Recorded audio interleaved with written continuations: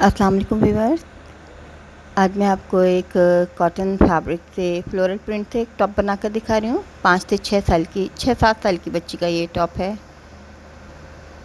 और कॉटन से बनाया है, इसमें शॉर्ट जोक है और हल्का सा कर्व के साथ ये राउंड जोक है। इसी कटिंग और स्टिचिंग मैं भी आपको दिखाने वाली हूँ। इस तरह की अगर हमें टॉप बनानी हो, तकरीबन हमें डेढ़ मीटर कपड़ा चाहिए होगा इसके लिए। और इसकी लेंथ जो है वो 25 इंच है टोटल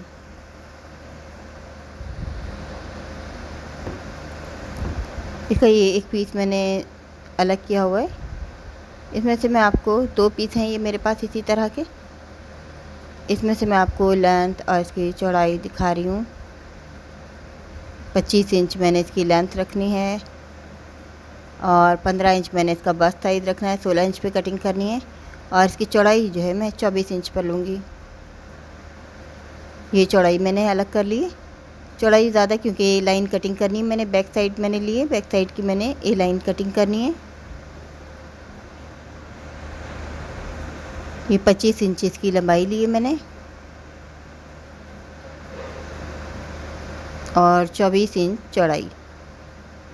ये बैक साइड है।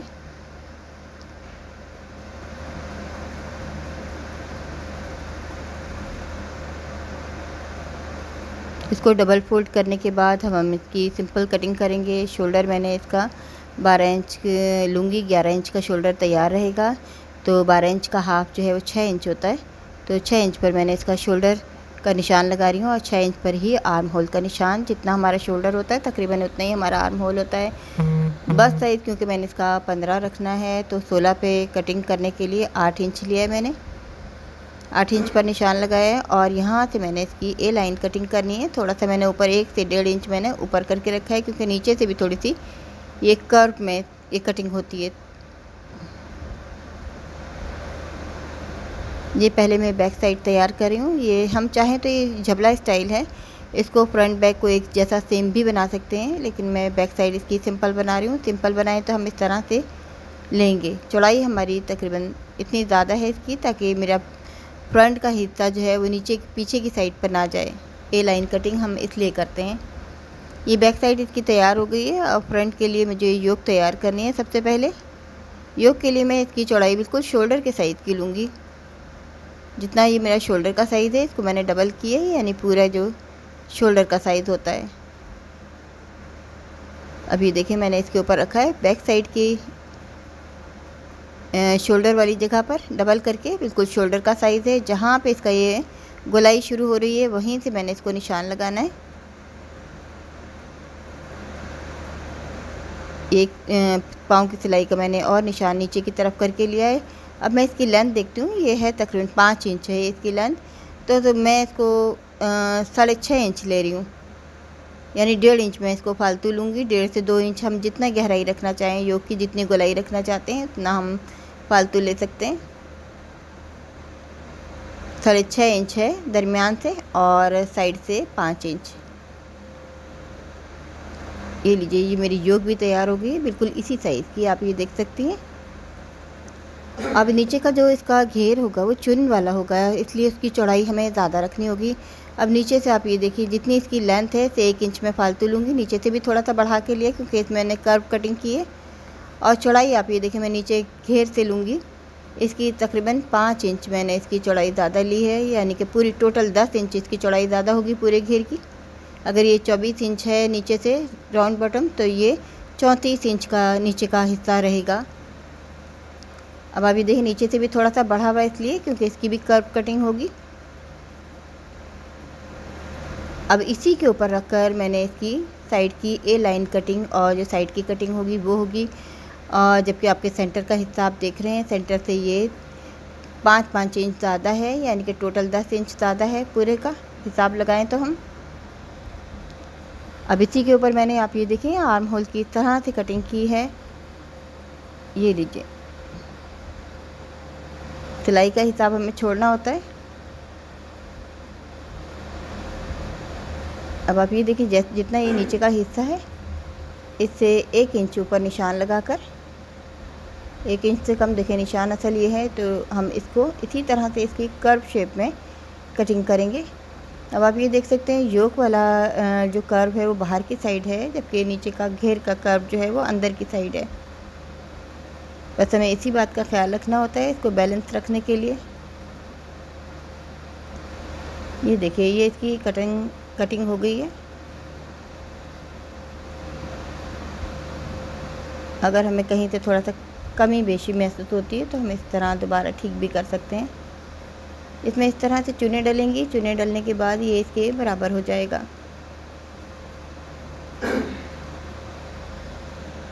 इसके बराबर करना है। आप ये देखें पूरा ये आर्म होल का साइज़ है। सिलाई होने के बाद ये आर्म होल मज़ीद छोटा हो जाएगा।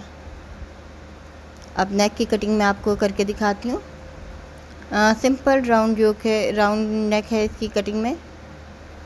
तीन इंच गहराई की। और ढाई इंच चौड़ाई की, यानी टोटल ये पाँच इंच चौड़ाई की नेक होगी।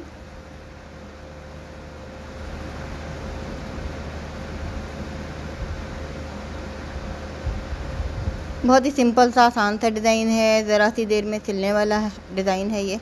यहाँ तक कट लगा रही हूँ, पूरे में ये पट्टी लगाऊँगी मैं। इसी साइज़ की हमें पट्टी कटिंग करनी है। ये देखिए, ये कुछ इस तरह से। अब इस स्लीव के लिए मैंने कपड़ा ले लिया है, सत्रह इंच का स्लीव लिया है, पंद्रह इंच का तैयार होगा। सात इंच इसकी चौड़ाई है। और तीन इंच की जगह मैं इसको चार इंच पर कटिंग कर रही हूँ। इतने बच्चे के लिए आमतौर पे हम ढाई इंच पर कटिंग करते हैं, लेकिन मैं चार इंच पे कर रही हूँ। गहरा आर्म होल है, अगर हमें पफ बनाना हो तो हम आर्म होल की कटिंग जो है वो इस तरह से गहराई से करते हैं, थोड़ा साइड की हल्की सी कटिंग की जा रही है। नीचे चूने देकर पाइपिंग लगाऊँगी मैं। और बहुत ही सिंपल सी कटिंग है। इसको तैयार करके अब मैं आपको दिखाती हूँ।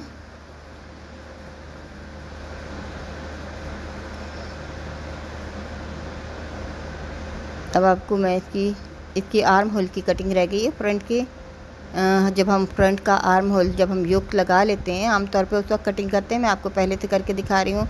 अगर हम पहले करना चाहें तो आर्म होल की इजाफी कटिंग करने का फ़ायदा ये होता है कि पहनते वक्त ये फ्रंट साइड से झोल आ, नहीं आता बिल्कुल भी। ये फ्रंट साइड की फ़िटिंग अच्छी होती है तो कपड़ा पहनने में भी खूबसूरत लगता है। अब आप ये देखिए, ये इस तरह से इसकी शेप हो गई है। जब हम सिलाई करेंगे तो या हमारा जो है आर्म होल ये इस तरह से नज़र आएगा। अब सबसे पहले पट्टी लगा लेते हैं। मैंने इसी शेप की, जिस तरह की राउंड नेक की ये पट्टी थी, उसी शेप पर मैंने पट्टी कटिंग की है और उसको बहुत ही सिंपल अंदाज में इसको लगा रही हूँ। इस तरह की ये डिज़ाइनिंग हल्की फुल्की डिज़ाइनिंग है, लेकिन खूबसूरत डिज़ाइनिंग है। इसे बिगनर्स भी आसानी कर सकते हैं, बना सकते हैं, क्योंकि इसकी कटिंग के साथ साथ इसकी स्टिचिंग भी बहुत आसान है। जिन्हें ये डर हो, जो बिगनर्स होते हैं, उन्हें चाहिए पहले रफ़ कपड़ों पर, पहले कटिंग करें। और जब वो उन्हें महसूस हो कि भाई उन्होंने कट कटिंग जो है परफेक्ट कर लिए, फिर अपने नए कपड़ों पर कटिंग करें ताकि उनके कपड़े किसी वजह से ख़राब ना हों।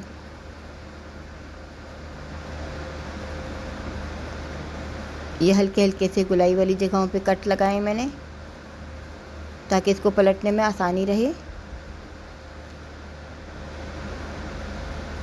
ये देखिए, इस तरह से इसके कॉर्नर्स निकाल लेते हैं, ऊपर से अंदर से तुरपाई करें या सिलाई करें यह हमारी मर्ज़ी होती है। एक छोटा सा पीस लिया है, ये अंदर बटन पट्टी के नीचे की साइड पर लगाने के लिए। पहले आयरन करना है हमें नेक को और उसके बाद ये पट्टी भी लगाएँगे।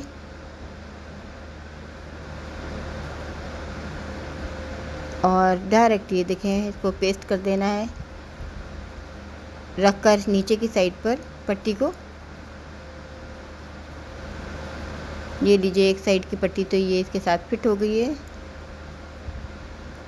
और दूसरी साइड की, क्योंकि इसमें बैक साइड पर मैं बटन पट्टी नहीं बना रही हूँ, यही बटन पट्टी है फ्रंट साइड की जो काम आएगी पहनने और उतारने में। अब यहाँ से भी मैंने इसको फिक्स कर दिया है।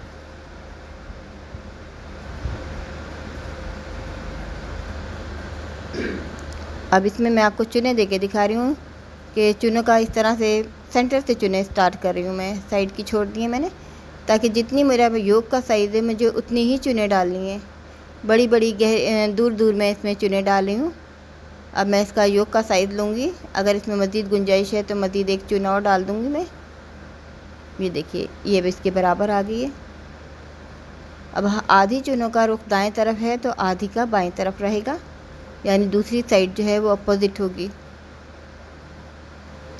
अब देखिए, जिधर जो साइड, दूसरी साइड का जो रुख है, उससे बिल्कुल अपोज़िट लिया है मैंने। चुनों का रुख। इसको भी मैंने सेंटर से शुरू किया है, ताकि बिल्कुल एक ही शेप की चुने तैयार हों। अब योग के साथ हमें इसका साइज़ भी लेना है साथ के साथ। अब ये तमाम जो नीचे की चुने हैं, वो योग के बराबर आ गई हैं। देखें आधी जो दाएँ तरफ़ जा रही हैं, आधी बाएँ तरफ़। अब योग के साथ इसको हम नीचे के घेर को फिट करेंगे। चाहे तो हम सादी चुने भी डाल सकते हैं, ये हमारी अपनी मर्ज़ी है। चाहे तो हम इसमें बॉक्स प्लेट डाल सकते हैं, इस पर योग वाली साइड पर पाइपिंग लगा सकते हैं, या लेस लगाना चाहें तो लेस भी लगा सकते हैं फ्रिल लगा सकते हैं। ये हमारी अपनी मर्ज़ी होती है, इसमें हम थोड़ी बहुत अपनी मर्ज़ी से डिज़ाइनिंग में चेंजिंग जितनी चाहे कर सकते हैं। अब एक सिलाई मैं ऊपर की साइड से लूँगी, ताकि बिल्कुल सिलाइयाँ किनारे इसके दब जाएँ।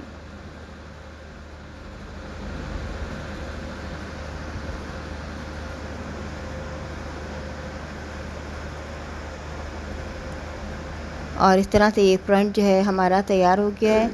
बैक इसकी बिल्कुल सिंपल है। अब इसका बाजू तैयार कर लेते हैं हम।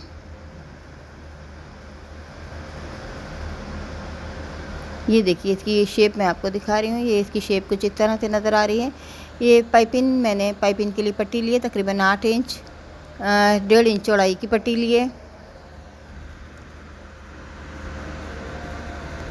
और इसमें ये चुने दी जा रही हैं।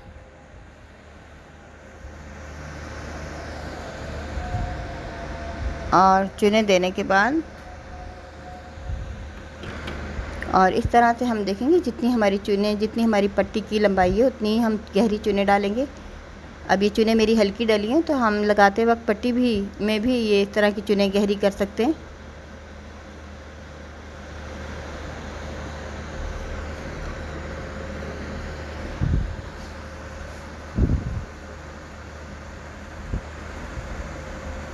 पाइपिंग की पट्टी मैंने लगा ली है, पाइपिंग भी मैं आपको बनाकर दिखाती हूँ। इसमें बस थोड़ी सी प्रैक्टिस की ज़रूरत होती है पाइपिंग लगानी कोई मुश्किल नहीं होती। ये देखें इसको इस तरह से नीचे की साइड पर पलट दिया है। और जब हम पलटते हैं तो इस बात का हम ख़ास ख्याल रखते हैं कि पलटते वक्त हमारी जो ये नीचे का हिस्सा है, ये सिलाई से बाहर की तरफ़ जाना चाहिए। तभी हमारी सिलाई पाइपिंग के ऊपर आएगी, वरना अगर हम उसको बाहर की तरफ़ नहीं निकालते, पीछे की तरफ़ ज़्यादा तो ये हमारी सिलाई से निकल सकती है पाइपिंग मैं आपको दिखाती हूँ, देखिए नीचे से मैंने बाहर की तरफ़ निकाल के लगाई है। तो ये देखें, कितने नीट आई है ये पाइपिंग बैक साइड से भी। अब जो क्योंकि मैंने ये आर्म होल गहरा कटिंग किया था तो मैं ऊपर की साइड पर चुने दूँगी और चुने देने के बाद इस आर्म होल को छोटा करूँगी, जिससे इसमें थल का सा इसमें पफ आएगा। अंदाजे से लेते हैं, ये हमें आर्म होल का साइज़ आर्म होल के मुताबिक करना है। अब इस, सबसे पहले हम इसके शोल्डर तैयार कर लेंगे, सीकर। बैक साइड की अभी मैंने नेक की कटिंग नहीं की हुई, मैं बाद में करती हूँ अक्सर।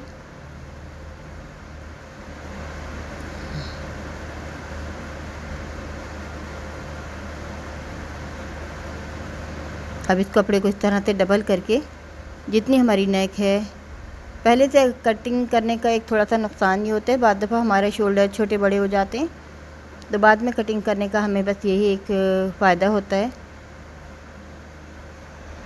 अब मैं स्लीव्स को आर्म होल के साथ जोड़ लेती हूँ। जैसे कि आपने देखा, मैंने फ्रंट साइड पे गहरी कटिंग की थी। ना सिर्फ़ ये गहरी कटिंग हम आर्म होल की, कुर्ती के आर्म होल की करते हैं बाजू वाली जगह पर, जबकि हम इसके बाजू की भी करते हैं कटिंग तो अक्सर मैं बाजू को लगाते वक्त ही या तो कटिंग करती हूँ या फिर इसको लगाने में ही चौड़ी सिलाई ले लेते हैं। तो उससे ये होता है कि बाद दफ़ा हमें दाएँ बाएँ की लगाने में अगर हम भूल हो जाती है तो कभी कभी ऐसे होता है कि हमारा बाजू दाएँ का बाएँ और बाएँ का दाएँ लग जाता है। तो हम चाहें तो इजाफी बाद में भी इसको थोड़ा सा निकाल सकते हैं और इजाफी आर्म होल की चाहें तो पहले से कटिंग कर सकते हैं। अब इसकी साइड की सिलाई होने के बाद ये जो है टॉप कंप्लीट हो गई है। तकरीबन छः सात साल की बच्ची का ये साइज़ है। पच्चीस इंच की लेंथ है।